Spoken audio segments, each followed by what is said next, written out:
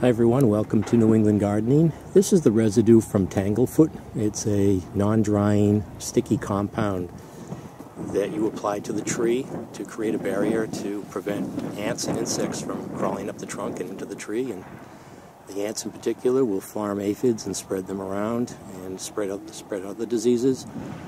This is the incorrect way to do it. You're not supposed to apply it directly to the trunk. Uh, there is a correct way or recommended way. And uh, I have a citrus tree that ants are crawling up the trunk and seem to be farming or eating some of the uh, citrus flowers or buds on the tree. So I want to properly apply some tanglefoot to prevent them from crawling up the tree. So let's get started on that. This is the citrus tree with the ant problem. It's not those black ants. Surprisingly, it's those small ants that create those little uh, sand hills and even though I move this, I've been moving this pot and disrupting the ants, they seem to keep on finding it and creating this little path they put down their scent. Uh, but I was surprised to see, I think they're actually in the pot. And this is the the tree that has the problem. I don't know if that's uh, frost damage or if it's a fungus. I'm going to get some of that diatomaceous earth and uh, spread that around and uh, have some uh, fungicide powder. I'm going to spray that in that location too. But uh, the ants, I, I, know I've hosed this off several times, and they seem to be just going to this one cluster of flowers, and uh, it almost looks like they're chewing on them. I don't see any aphids. So you can see here they're on this little cluster of flowers doing what ants do. So I want to prevent them from being able to crawl up the bark and into the tree. And the Tanglefoot will prevent that if applied properly. So you can see the ants there around the base of the trunk and looks like they actually have a, a hole that they're coming out of. So I think the diatomaceous earth will kill them so I'm going to order some of that. I see Amazon has like a 10 pound bag for $18. That's probably enough for a lifetime for me.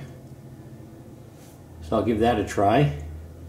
But for now, I want to prevent them from getting up into the tree, so I'm going to apply some Tanglefoot. So if you're not familiar with the product, this is Tanglefoot. That's what it looks like. And it's this sticky substance that insects don't like to or can't crawl over.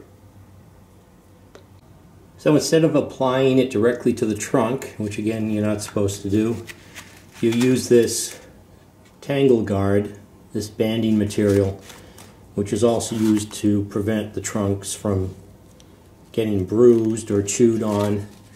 And so you wrap, you wrap the trunk uh, with some of this and I'm going to use some of this painter's masking tape.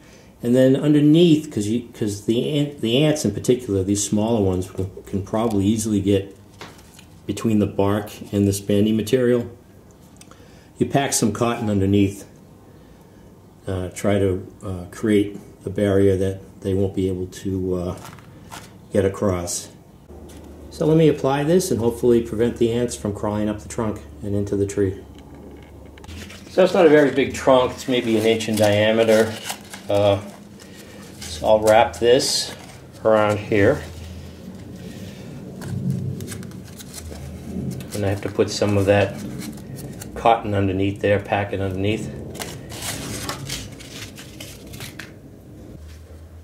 So I need to, oh, that's sort of easy, that unwraps.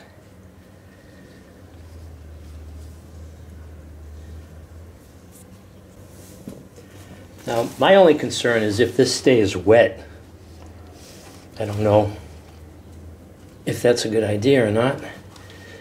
So I'll put some of this under here.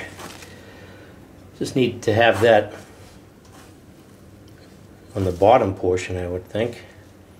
And uh, now that I think about it, I don't want it too low because I don't want it constantly wicking moisture from the soil. So I don't know if I need more here.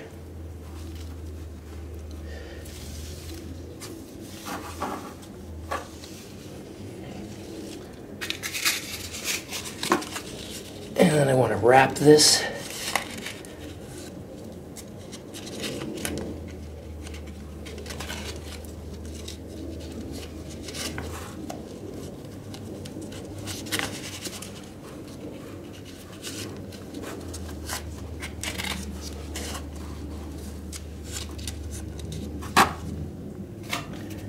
And then tape it.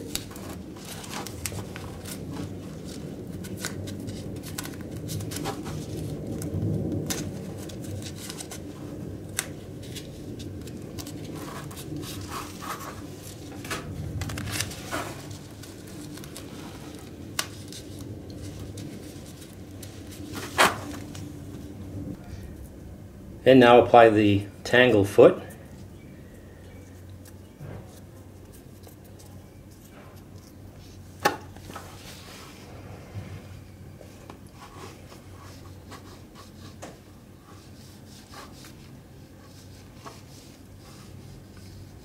That'll create a nice barrier for any insects. Make sure to get it completely around.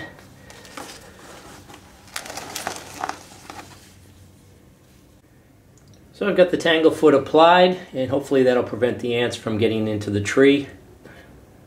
This is New England Gardening on the recommended application of Tanglefoot. Thanks for watching.